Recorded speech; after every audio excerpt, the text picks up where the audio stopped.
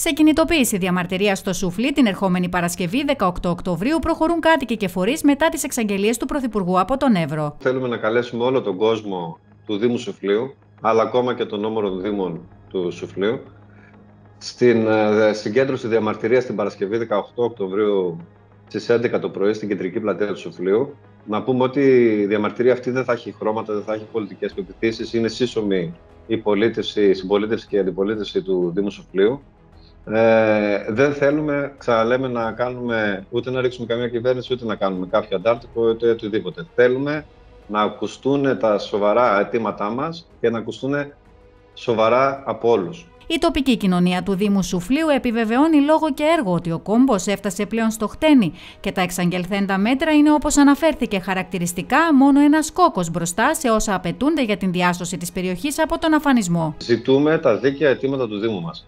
Δεν έγινε το οτιδήποτε πιο πριν, γιατί όλο αυτό το χρονικό διάστημα, εδώ και ένα χρόνο, μας χάιδευαν την πλατούλα, μας χτυπούσαν την πλατούλα και μας έλεγαν ότι θα πάρετε, θα δείτε, θα πάρετε κάτι, θα πάρετε κάτι.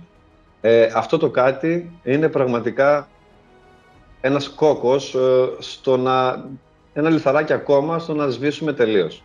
Ε, η πληθυσμιακή κατάρρευση που έχει ο Δήμος μας ε, είναι 22%. Είναι φοβερά μεγάλη.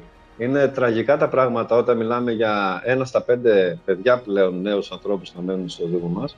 Οι υπόλοιποι όλοι φεύγουν. Ε, κατά μεγάλο βαθμό στην Αλεξανδρούπολη, αλλά πιο κάτω και στο εξωτερικό ακόμα. Εάν δεν δούνε δραστικά, αν δεν δει η κυβέρνηση, η κεντρική κυβέρνηση, ε, το τι πραγματικά γίνεται και δεν πέσει στο πρόβλημα σοβαρά, στο πρόβλημα που υπάρχει στην περιοχή μας, θα χαθεί και θα χαθεί ο κεντρικός ο Εύρος, θα χαθεί και ο βόρειος Εύρος.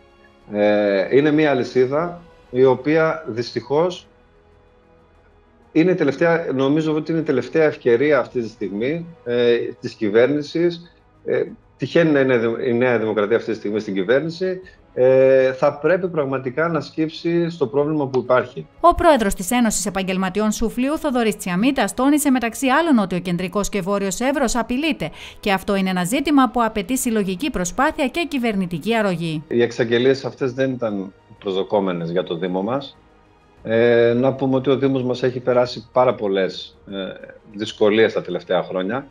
Βλέπουμε γενικά να κλείνει μία δημόσια υπηρεσία μετά την άλλη, να κλείνουν συνεχώς καταστήματα και να φεύγει ο κόσμος και να αδειάζει όλος ο Δήμος μας. Βέβαια δεν είναι κάτι που συμβαίνει μόνο στο Δήμο μας, αλλά συμβαίνει και στο Βόρειο Εύρο, δηλαδή στο κεντρικό και στο Βόρειο Εύρο. Ε, αυτή τη στιγμή, μάλλον Ας τα πάρουμε με τη σειρά. Το... Υπήρχε, υπήρχε η πανδημία με τον COVID, έπειτα ήρθε η πυρκαγιά, το, η μεγάλη πυρκαγιά του 2022, που ήταν η μεγαλύτερη στην Ελλάδα.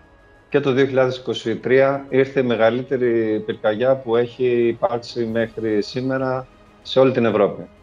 Ε, και πραγματικά, ενώ προσπαθήσαμε να κρατηθούμε, να μαζέψουμε τις δυνάμεις μας, είχαμε ένα χρόνο μετά συναντήσεις επί των συναντήσεων και ξανά συναντήσεις με αρμόδιους ε, από Υπουργεία, χίλιους δυο ανθρώπους ε, για την ανασυγκρότηση του Εύρου. Φτάσαμε στο σήμερα ένα χρόνο μετά και πήραμε τις εξεγγελίες που πήραμε για το Δήμο μας.